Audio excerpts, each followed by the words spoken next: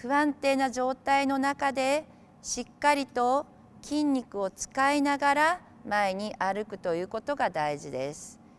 この形で歩くという目的なのではなく不安定な状態を自分の体が支えるということによって筋肉を鍛えているということを自覚しながら練習をしてください。